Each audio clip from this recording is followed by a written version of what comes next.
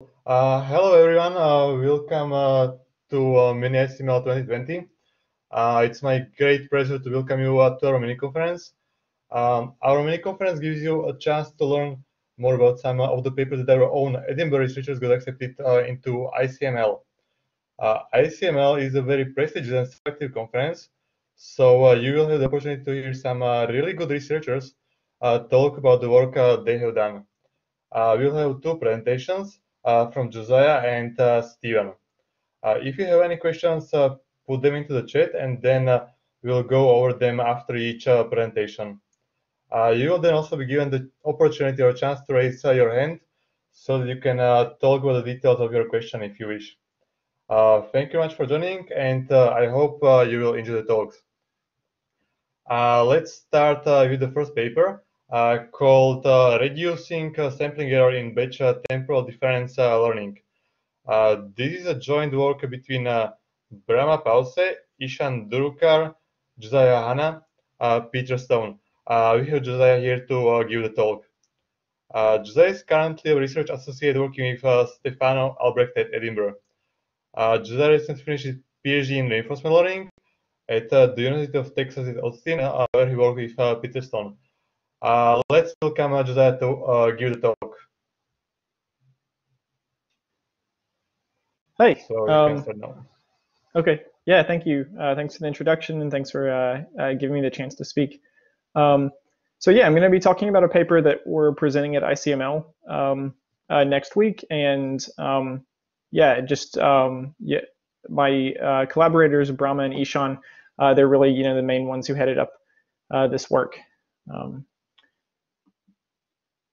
so um, uh, reinforcement learning for um, uh, is becoming a more in, uh, increasingly uh, um, popular area of reinforcement learning, mainly because of uh, some striking successes which have happened in the um, uh, the past few years. So, for instance, we've seen um, superhuman performance at video game playing, where a computer completely learns to play the video game just from looking at the screen.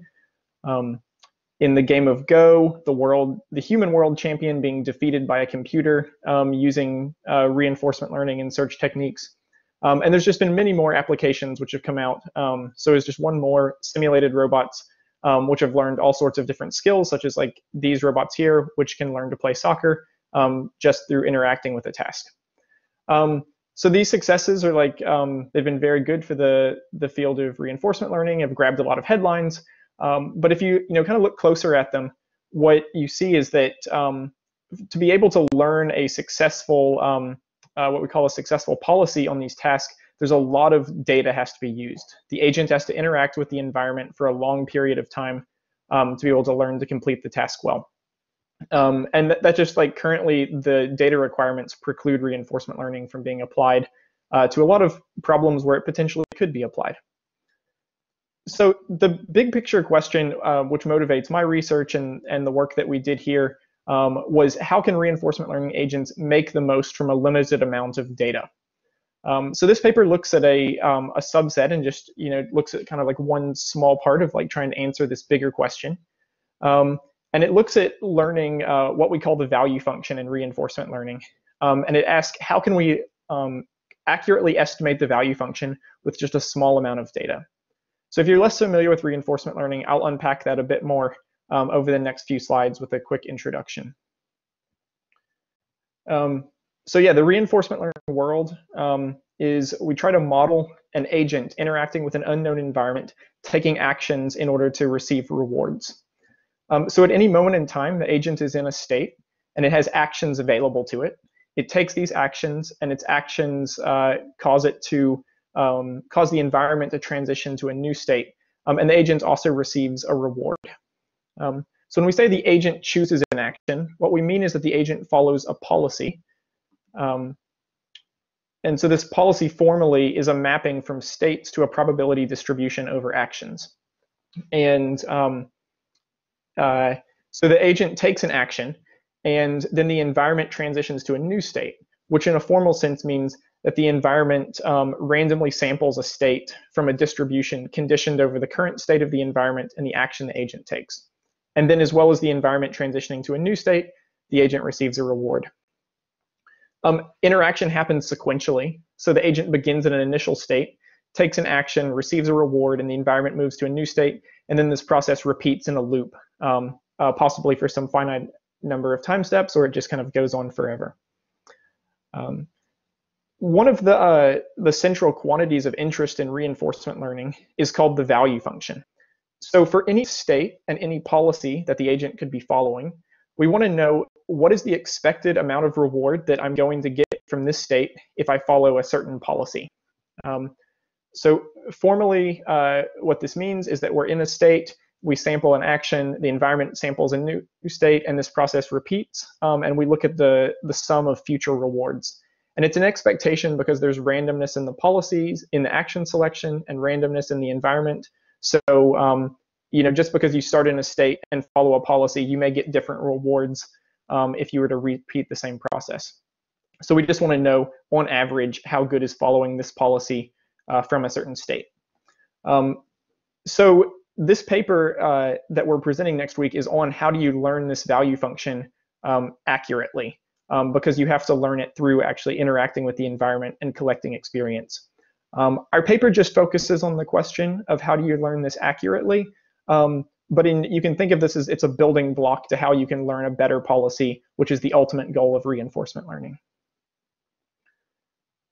Just as a quick example of like to make um, you know the idea of a value function more concrete, you can think of um, an autonomous driving domain where this agent, um, this agent controlling our car um, might be in a particular state and have a certain policy which defines its control software that it's running. Um, that policy might end up in like one of two different outcomes, either reaching its destination or ending up in an accident. We can associate reward values with these outcomes.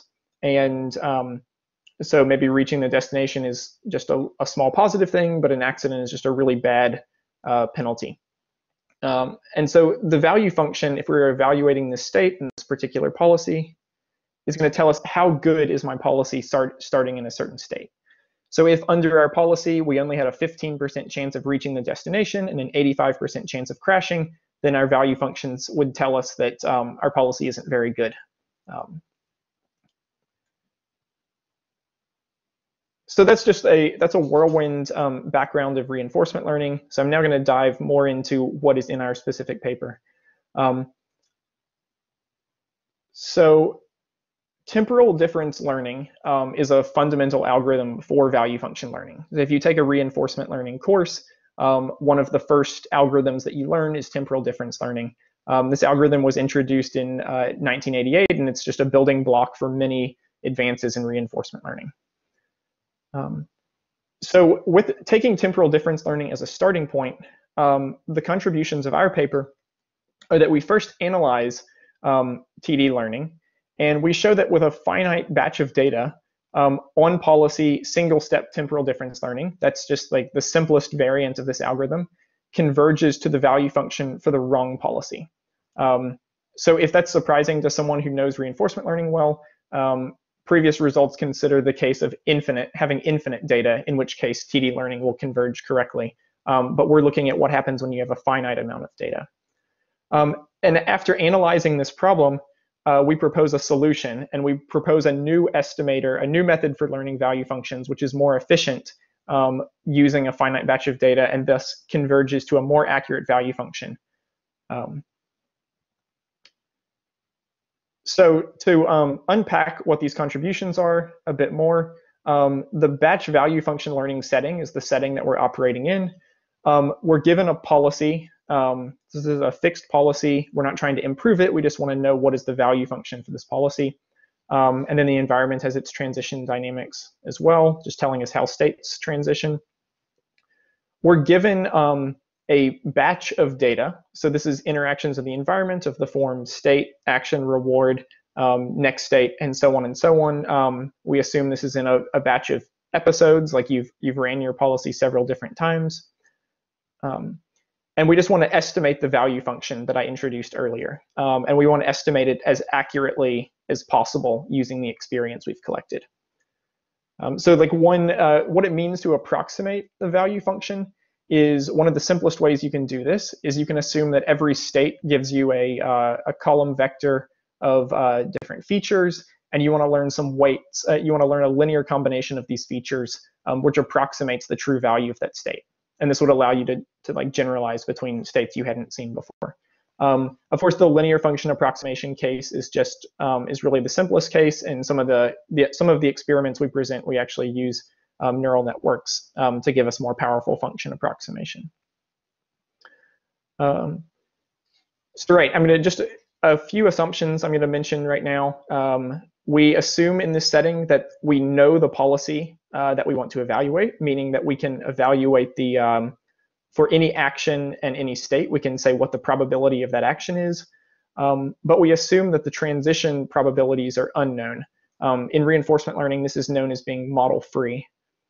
Um, and then the third assumption I'm going to make um, is that we're in what is called the on policy setting. And that just means that um, the data that we have, um, the data that we have was generated by the policy that we want to evaluate. Um, and this assumption I'm just making for the purpose of this talk. In fact, our paper also considers the, uh, the more general off policy case um, when data could be generated from any policy. Um, so conceptually, what um, a batch value function learning algorithm does is it's given a finite size data set, um, and we want to we, we want to give like the best have the best learning algorithm which produces an approximate value function which is as accurate as possible. Um, so our our work is trying to address, um, you know, what is like the best learning algorithm we can plug in here. Um, so batch temporal difference learning is um, this fundamental approach to this problem. Um, it's been around for a long time. Uh, so I'm going to just kind of step through how this algorithm works. Um, you don't need to follow all of the pseudocode I'm going to flash up here. I'm going to highlight the important parts. but we're just given a fixed, fixed and finite batch of data as input. Um, and we're gonna just we're gonna loop over the data, um, and we're gonna accumulate what's called the uh, temporal difference error. Um, this error basically tells us how um, inconsistent our current um, value predictions are from what we're seeing in the batch. Um, and so we're going to compute an update for our value function approximation, which tries to minimize the inconsistency in our value predictions. So we make these um, uh, we make an update that depends on all of the data in the batch, like we update our weight vector if we're doing linear approximation, um, and then we just continue repeating this process until the white vector we're learning um, converges. Um, so at no point are we collecting additional data, um, we just have the same fixed batch of data the entire time. Um, so batch temporal difference learning, um, well, well, I guess first of all, temporal difference learning um, as a well-known like building block of reinforcement learning will converge to the true value function if it's kept presented with more and more data. Um, in fact, like an infinite batch size. Um, but our question is, where does batch temporal difference learning converge when you just have a fixed uh, batch size? Um, so there's some um, answers to this already in the literature.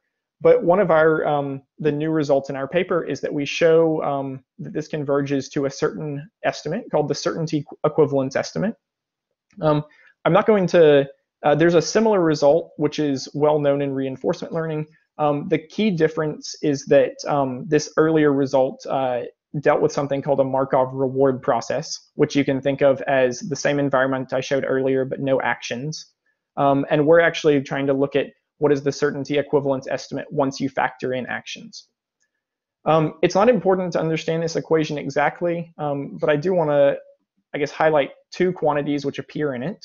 Um, one is the maximum likelihood estimate of the policy, um, which just means um, in the batch of data, how often did an action actually occur um, in each of the states.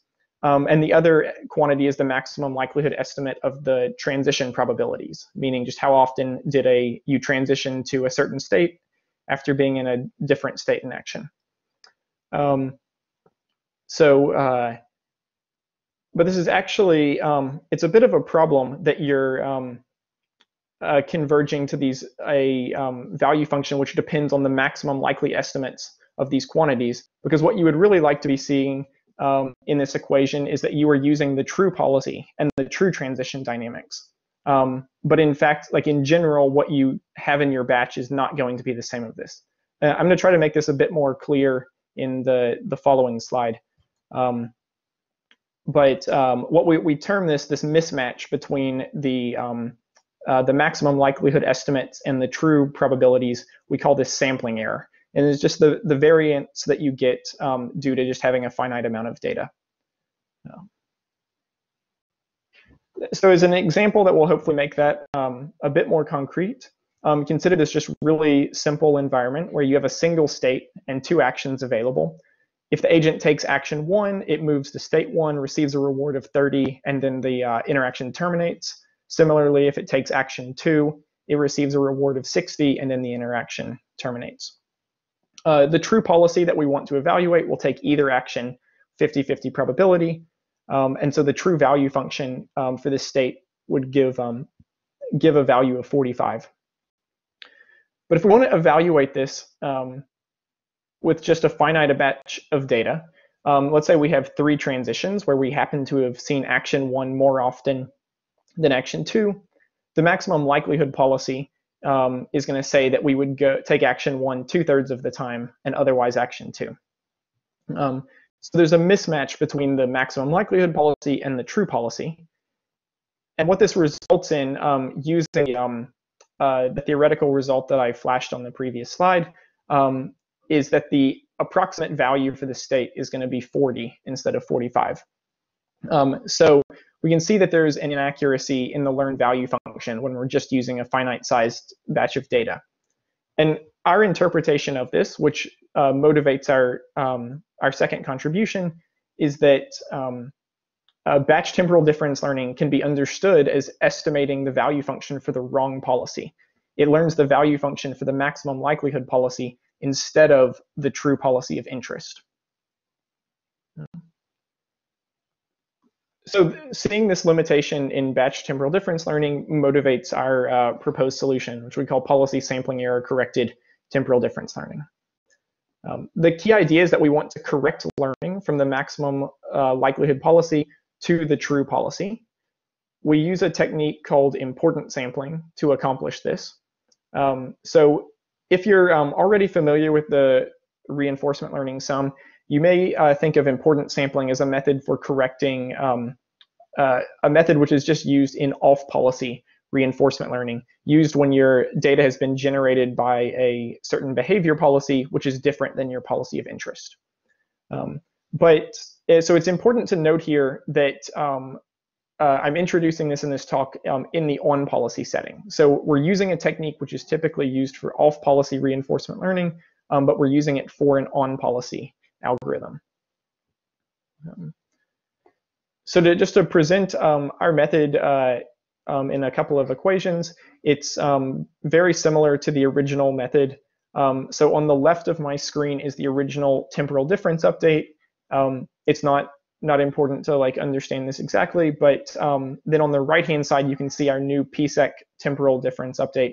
and the only change is that we add this ratio, this important sampling ratio, um, and what that ratio says is that if an action in the batch is it's seen in the batch more frequently than its true probability, um, then we want to decrease the weight on it.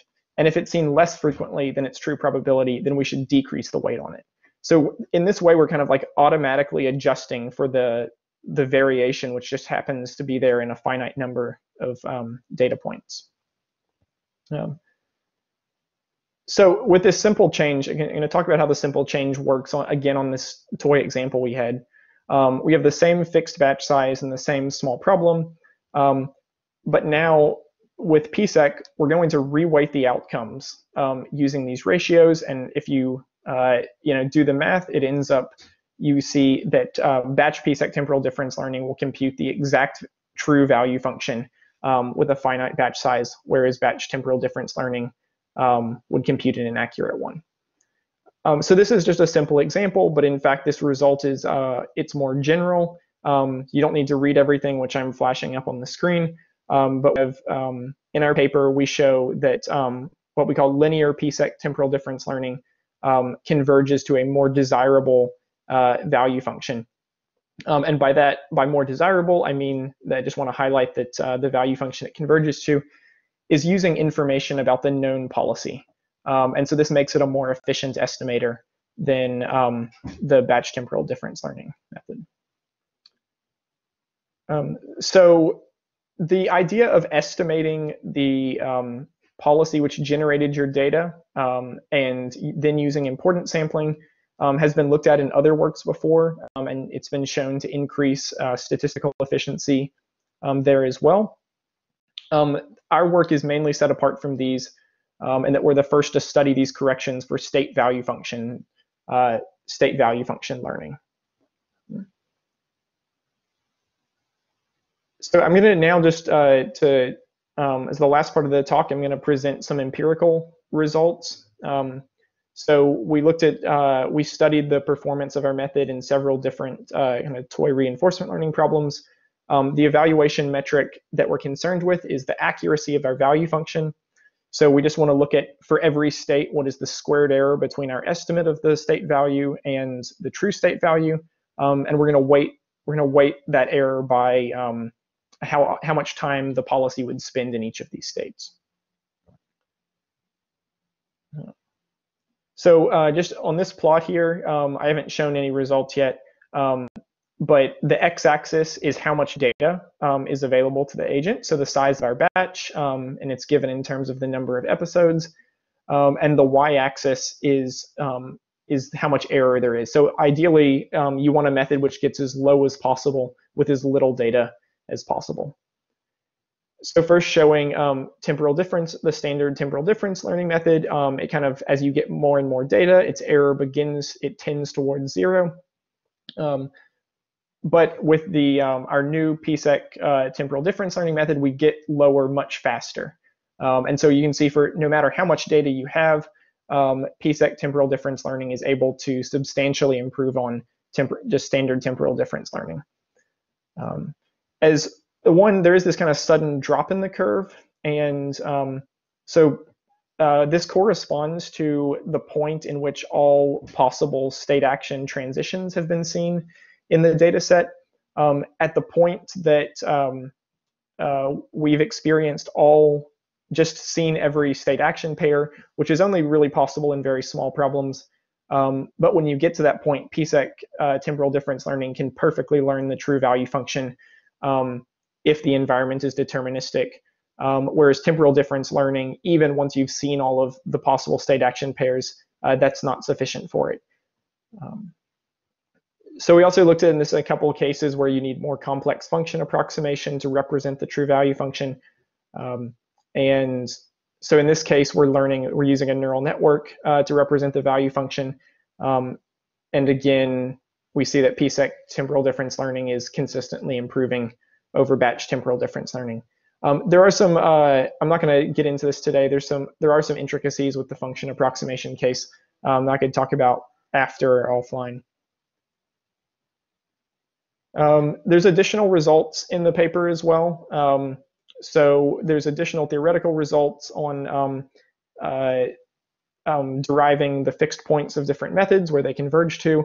Um, and we look at a large number of additional empirical questions, um, such as how does the choice of function approximator impact results, as well as like looking at off policy PSEC. There's uh, a number of open questions that this uh, this work brought up for us. Um, uh, in as I mentioned earlier, um, temporal difference learning um, has been around for a long time, and there's been a lot of extensions to it, a lot of improvements as just knowledge and reinforcement learning has improved. So we want to see how the, the insights that we have um, from PSEC apply to like more advanced value function learning methods, as well as policy improvement approaches. Um, one of the really key open questions that um, uh, I'm really excited to look at in the future is that we've we've mainly just looked at um, uh, batch temporal difference learning. Um, temporal difference learning, though, is frequently applied in a more online fashion. Um, and so I, would like to see the insights that we um, developed in this paper extended to the online setting. Um, although there's a lot of challenging questions there. Um, if anyone has any uh, idea, it wants to look at the paper and gets any ideas for that, I'd be really happy to hear them. Um, so to conclude, um, just to leave you with a few takeaways. for a finite batch of data, this uh, fundamental reinforcement learning algorithm, batch temporal difference learning, converges to an inaccurate value function. Um, we uh, show that this mismatch between the empirical maximum likelihood policy and the true policy can be corrected by using the technique of importance sampling. Uh, and then just finally, we introduce the PSEC temporal difference um, method and show that it's a more efficient estimator uh, than temporal difference. Um, so with that, uh, yeah, so with that, uh, that's everything I've got. Here's, uh, I'll just leave you with this uh, picture of my collaborators. Thank you. Uh, thanks, Dr. It has been a really interesting and uh, useful presentation. So now we have some time for uh, questions. So does anybody have any questions?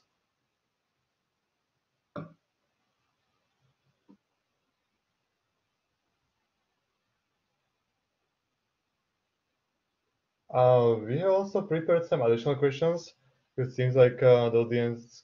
Oh, okay. So uh, we have a question for a uh, question from uh, Thomas. So the question is, uh, how do you know the true pi uh, to be used in the importance sampling? Yeah.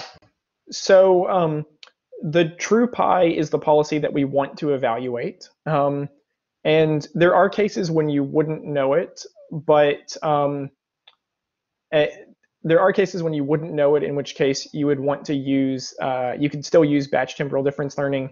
Um, but it's often the case it assumes that you would know the true policy. It is, after all, it's the policy that you want to evaluate this. So the context of that would usually be that you have some knowledge of that policy. Um, and so you could know, um, uh, know that policy. Um, so uh, yeah, I guess it is like there are cases if you if you didn't know it, you would want to use batch temporal difference learning, uh, but it'd be a pretty common assumption that you you would just already have that. Uh, do we have any other questions from the audience? Okay, so uh, we have a question. Uh, is importance sampling the only reasonable way of addressing uh, this problem? Um, yeah. So well, it's it is the uh, it's the main way that we've thought of uh, for addressing the problem. Uh, if if you have ideas about other ways to address it, I'd be like uh, uh, interested to discuss them. Um, yeah, um, I feel like we felt like you know kind of we were able to like once we identified the problem, um, this seems like a natural way of uh, correcting it because you can kind of you can view the problem with batch temporal difference learning as if um, you have off policy data, so important sampling seems like a natural uh, solution method. Um, but yeah, I mean, I'd be uh, interested in hearing, um, you know, any additional thoughts on other approaches that could be taken. Uh, nice. Um, are there any other questions from the audience, or we can uh, try to or get some questions from uh, our list? So, okay, so we have uh, higher level questions. So, where do you think uh, this method could be most useful? In what kind of scenarios do you think?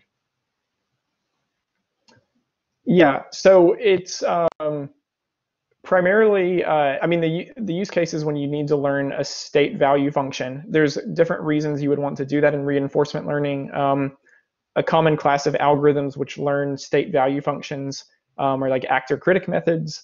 Um, so there would be potential use there.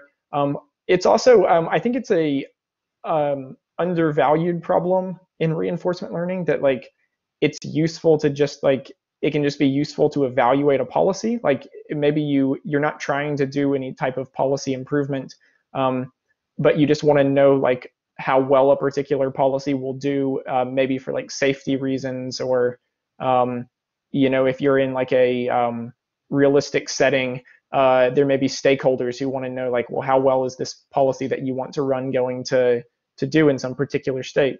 Um, so any type of setting where you're learning a state value uh, function is where this is going to be like most useful. Mm, okay, see. Yeah, thank you much. Um, we have one more question. So, uh, uh, do you, so uh, what do you think are like potential limitations of the of this method? Yeah, so I wasn't able to, um, you know, dive too much into the function approximation. um, results that we have. Um, I think there still is like a lot of open questions about, mm-hmm. um, you know, how do you best, uh, um, what is the, so I guess let me, let me back up. In, um, in a more complex setting, uh, you would represent your value function with a function approximator. Um, and you also need to represent your estimate of the empirical policy with a function approximator. Um, so this adds some complexity. Um, in, in, fact, you know, I should mention that I think you know one limitation here is that we're trading off. We want the most statistical efficiency, and so we're trading off on computational efficiency some. Um, mm, yeah. So um, I think there's still like some open questions on what is like the best way to apply function approximation here. Um, you know, we've kind of we in the paper we try to give uh, practical suggestions for what we found to be the most useful. Um, but I think we can still develop like more robust approaches there. Okay. Uh, so unless there are any other questions from the audience, then uh, uh, thanks again, uh, Josiah, for the very interesting presentation. Also, very insightful answers to the questions. So uh, now we will continue. Uh, Thank, thanks from, for having me, by the way. Yeah, yeah, thank you very much. It was very nice, very useful. Okay, so now we continue by talk from Steven. Steven's paper is called uh, Bayesian Experimental Design for Implicit Models by Mutual Information and Neural Estimation. And uh, this is joint work uh, together with uh, Michael Gutmann. Uh, Steven is currently a second year PhD student in data science, and he's supervised by uh, Michael Gutmann. he's interested in Bayesian experimental design, likelihood free inference, and Bayesian computation. Before starting his doctoral degree, he studied physics at Imperial College London. So, uh, Steven, now you can start. Thank you for yeah. the introduction, Andre. Um, so, hi everyone, I'm Steven, and I'm here to tell you about guiding. Oops, the presentation just went away. Um, I'm here to talk to you about guiding scientific experiments using neural network. And um, this is joint work with my supervisor, Michael Gutmann, and based on the recently accepted ICML paper, Bayesian Experimental Design for Implicit Models by Mutual Information Neural Estimation. And I'll start off with by saying that in, we often describe natural processes by statistical models. And many of these statistical models are so-called implicit models, where the data generating process is such that we can sample data from the model, but we can't actually evaluate the likelihood of any of these samples. And this naturally makes the estimation of the posterior distribution, if we're interested in Bayesian inference, very difficult. And so people are forced to use likelihood-free inference um, methods to do that. And a neat property of these implicit models is that sampling from the data generating distribution is exactly the same as sampling, first sampling some noise from a base distribution and then putting that noise into a deterministic function h, which then yields you the same data y. And I'll show you later how this becomes useful in our method. Now, as an example, let me show you um, a model from pharmacokinetics, where we wish to study the underlying kinetics of a drug in a body after it's been administered to a patient. And there are a couple of model parameters that we wish to estimate um, doing this experiment, which regulate, for instance, how quickly the drug is being absorbed, how quickly it's being eliminated, and also how it spreads to the body. And I've shown you here the drug concentration at a particular time t for one patient. And you can see that I can actually write the statistical model in one line. And this one-liner um, also represents this deterministic function that I talked about earlier that takes as input um, some Gaussian noise and some other noise as well. And if we wanted to do an experiment to estimate these model parameters, we naturally have to decide at what time we measure the blood from a patient. And I've shown you here a, an average variation of the drug concentration as a function of time. And the domain expert might know that waiting very long to take a measurement is probably quite bad because the response will be very low and the drug will have been eliminated completely. And the domain expert might also know that measuring it um, at, a, at this time where the peak of the drug concentration is, is really good because here the signal to noise ratio is very high. And a domain expert might know all of these things, but we'd like a more systematic and structured way of deciding when to actually do these measurements. And as a tool to help us do that, we use Bayesian experimental design. And the premise of that is that in scientific experiments, collecting data is always essential, but realistically, we are limited uh, with our budget in time or money. And we have to answer the question, how or where do we collect data in order to learn the most about whatever we're trying to study? And a quantity that helps us facilitate that is the so-called design variable D. And these are all the things that affect the experiment which we can control. For instance, for the PK model that I talk, talked about earlier, these would be the blood sampling times.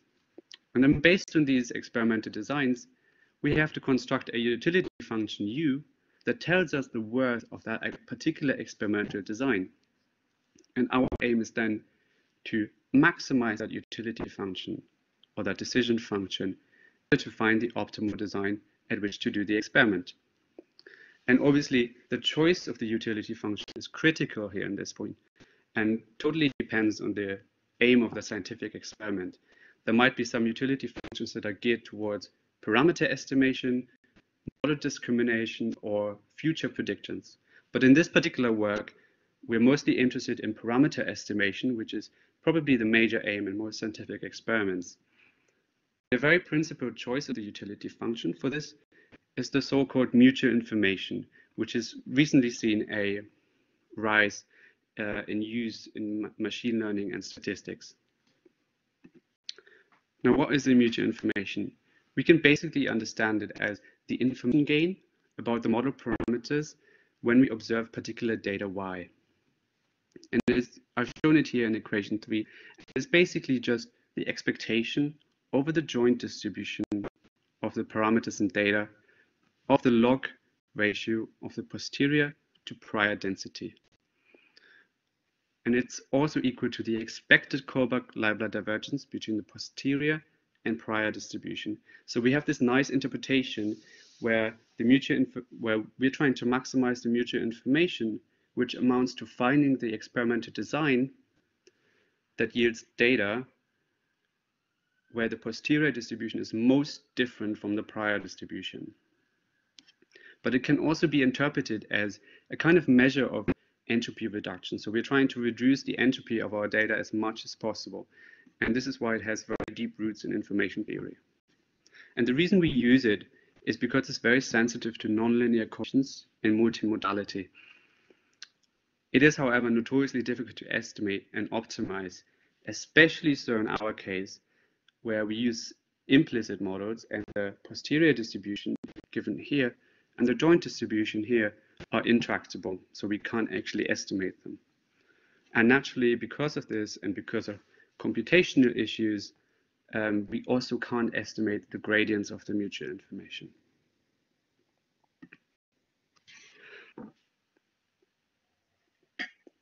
Now, our solution is to actually relax the problem and instead of putting resources into estimating the mutual information to high accuracy, we consider lower bounds of the mutual information.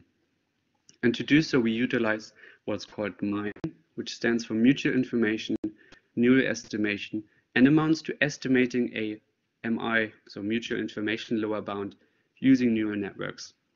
And because we use MINE to perform Bayesian experimental design for implicit models, we call our method MINEBED. And I've drawn up here a small illustration to show you um, how this works so in blue, I've shown the true mutual information, which we can't estimate or optimize, but we want to find its global optimum. So we propose to construct a lower bound, which is shown in red here, which is cheap to compute and for which we can actually compute the gradients. And this allows us to perform gradient descent on the lower bound and find the optimum. Our method actually also allows us to tighten the lower bound at the same time. So the difference between the lower bound and the mutual information becomes negligible. And the crux of the method and the real difficulty lies in computing these gradients. And I'll show you later how we do that exactly. Now let's start by first uh, defining a neural network, which we call T in this case, that is parameterized by some parameters psi and takes as input the model parameters and the data y. And we here use a utility that's called the MINE-f lower bound um, of Belghazi et al. And I've shown that in, in equation 4 here.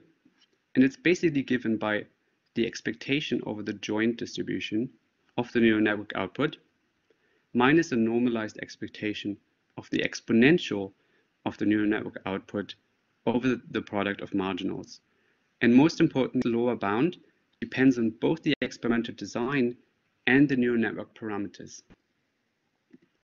Now, our experimental design problem can now be formulated as having to maximize this lower bound with respect to psi and d in order to find the optimal design.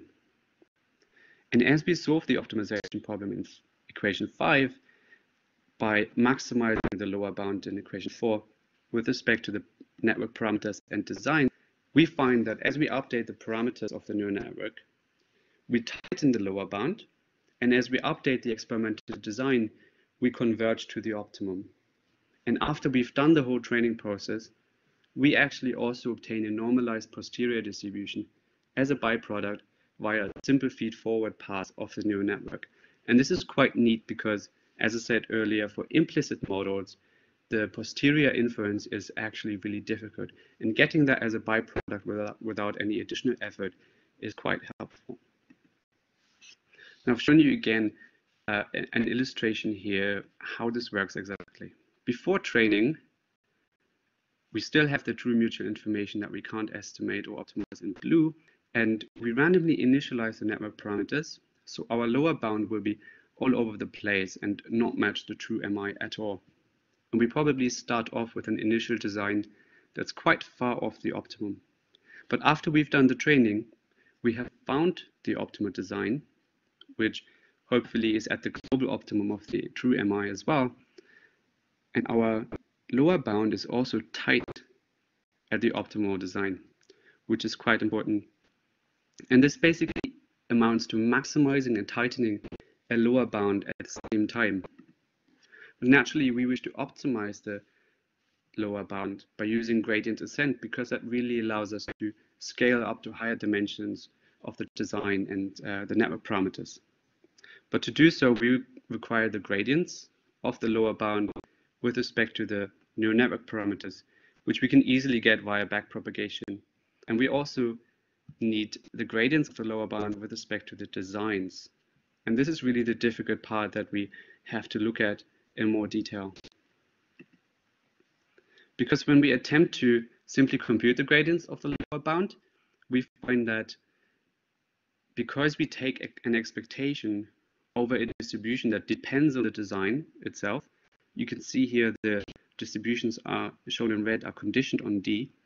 We can't actually pull the gradient operator inside the expectation, which prohibits us from com computing them exactly. And this is mainly because for implicit models, we can't estimate the joint distribution here or the marginal distribution because they depend on the design and we assume that we don't have access to the likelihood. And this naturally also means that we can't compute the necessary gradients we need to compute. And also we can't use things such as score function estimators because again, those require the log densities. What we can use is the so-called pathwise gradient estimator. And for those of you that are familiar with the variational inference literature, this is also known as the reparameterization trick. And this essentially allows us to estimate these gradients by pulling the gradient operator inside the expectations. And because of time issues and because it's quite a bit more involved, um, I obviously had to leave that out now. But if you're interested in knowing how exactly we do these gradient computations, please do have a look at the paper for more derivations and explanations. Now, one very important point is that our approach actually requires us to know the Jacobian J, which is defined as the gradient of this deterministic sampling path that I showed you earlier, with respect to the designs. And while this does limit us in our generality, this is still sat satisfied for a large class of implicit models, where, for instance, we have an analytic expression for this deterministic function h. And for instance, the PK model that I showed you at the beginning was exactly an example of that. Or where we have a latent process and a differentiable observation process. Or we have access to the differential equations of the model, which happen quite often actually in science. Or we can actually also use automatic differentiation to compute the Jacobian or estimate it. And this last point is quite important because as the capability of automatic differentiation improves, the generality of our method will also improve. Now, there might be some cases for which we absolutely can't estimate the Jacobian at all. And this obviously is a bit more tricky, but we show a fallback solution in our paper as well. Now let's go back um, to the PK model that I showed you in the beginning, where we wish to understand the kinetics of how a uh, drug spreads after it's been administered to a patient. And here for now, we'll consider a budget of 10 measurements. So that means that our design vector is now 10 dimensional. So it consists of 10 um, time measurements. And our data vector is also 10 dimensional, consisting of a measurement correspond, corresponding to each time. And we actually find that for this kind of problem, a small network with one hidden layer is sufficient. And in the top plot here, you can see quite nicely how the lower bound improves steadily as a function of training epochs and converges to a high value that has a small bias, so a small difference to the true MI value. And in the bottom plot, you can see how the dimensions of the design vector, so the measurement times, change as a function of training as well. And finally converge to three clusters at early times, middle measurement times, and late measurement times. And these are actually quite intuitive as well from a domain expert perspective, because each of these clusters isolate different model parameters and allow us to estimate the remaining parameters better. So this is a very intuitive and explainable um, interpretation. We can also compute the posterior distributions after that because, as you recall, we get um, the posterior density via a simple forward pass of the neural network after we've done the training. And we find that our posterior distributions are narrow and quite close to the true parameter, to the true model parameters, which shows us that our method does yield us quite good designs, which presumably are optimal. So this was a model in 10 dimensions. And now I'm going to show you a higher dimensional model. So here we're looking at a 100 dimensional linear model, which is basically just a straight line in 100 dimensions with some Gaussian and some gamma noise added to it. And our aim is to find some optimal designs that allows us to estimate the offset and the slope of that straight line in an optimal manner. Now here in our case, the design vector and the data vector are both 100 dimensional. And I should say that in experimental design, anything above four dimensions is basically considered high dimensional already. So in literature, in the related literature, this is quite impressive. And even for this for these high dimensions, we find that our lower bound converges to quite a high value again with a lower with a low bias. And our designs also converge quite smoothly with more design dimensions concentrated around um, the value of zero. And this is quite interesting because normally you, you might think you want to have measurements at large values of the design domain because the signal to noise ratio is higher. But here our experiment tells us actually that we should make measurements at d equals zero all the time. Um, which is basically a very different strategy to what you get in lower dimensions. So an a person actually doing the experiment would have to watch out and not extrapolate from lower dimensions. And we've also run the experiment with one-dimensional and 10-dimensional versions of that straight line experiment. And naturally, our posterior for 100 dimensions is more narrow and more accurate than for lower dimensions. But what's more important here in this plot is um, that we can see again how easily and how quite nicely we can compute the posterior density via a simple feed-forward pass of the neural network, which is amortized in the theta space. Now, I've, in summary, I've presented to you just now a novel approach to experimental design for implicit models. And I've explained to you how our method uses a neural network to maximize a lower bound on the mutual information. And we find that we update our, as we update our neural network parameters and the designs with gradient ascent, we can find optimal designs and posterior distributions simultaneously, even in very dimensional uh, problems, which I showcased to you um, as well. But obviously, I had to leave out quite a few um, explanations and derivations and also examples. So if you're interested in hearing more about this, please do have a look at our updated paper as well, which we'll present next week at ICML. And obviously, I also made my code available on my GitHub repo, so feel free to check that out. It's an installable package. Right. Thank you very much. Uh, thank you very much, Steven, for a really interesting and insightful talk. Uh, and uh, now uh, we have some time for questions.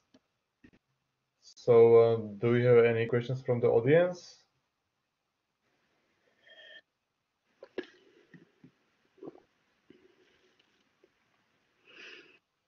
Okay, so it seems like the audience currently doesn't have any questions, but we have some uh, prepared questions for you. So, the first question is is there some particular reason uh, why why there are some like uh, quite large occasional drops uh, during training uh, for uh, mutual information? So, for example, slide like 13 or uh, I think 11. So, definitely like some oh, you mean, specific you, reason. Ah, yes, yeah, these kind of drops. You mean this, right? Mm -hmm. Um, this is only a relic of um, using too large of a of a learning rate.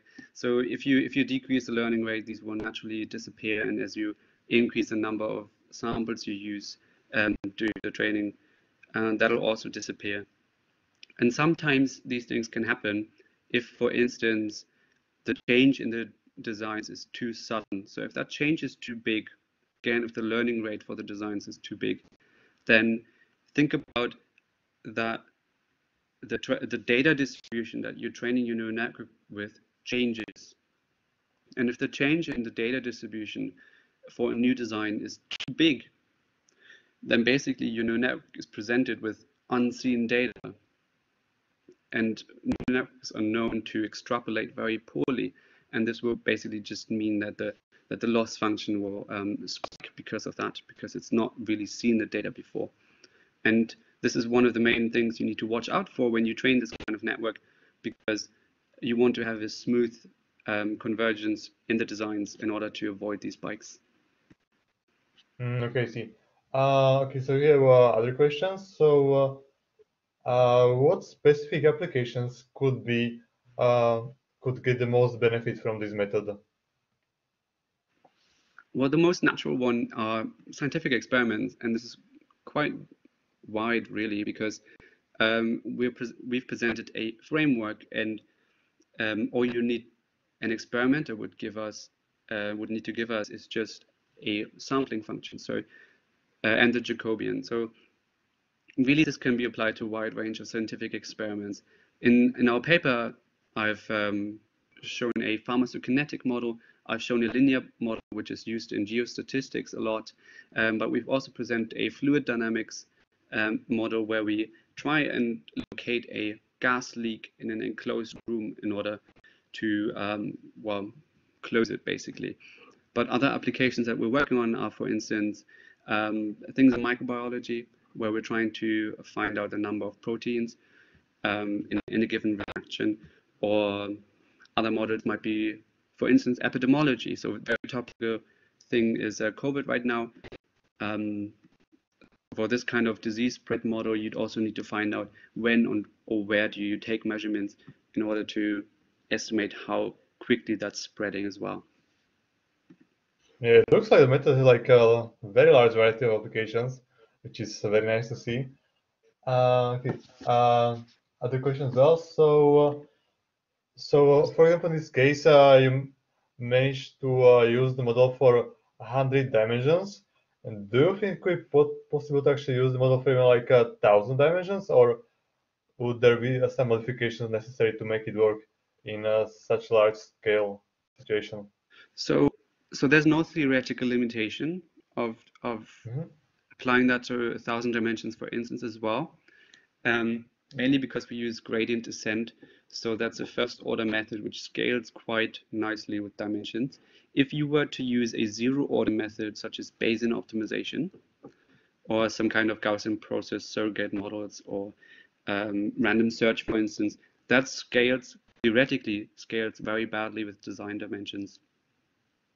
So for this, okay. Mm -hmm. if you were to use that instead of gradient descent, um, which we do actually for cases where we can't compute the Jacobian, then you wouldn't even be able to do 20 dimensions. But because we use gradient descent, there's no theoretical limitation on the number of dimensions, except obviously uh, computational resources. Mm, okay, see. And in terms of the computational resources, so how expensive is this method? So does it uh, does it run in like minutes, hours, or potentially even days? Uh, so this particular plot you see here can be can be run in a few minutes up to an hour on a CPU.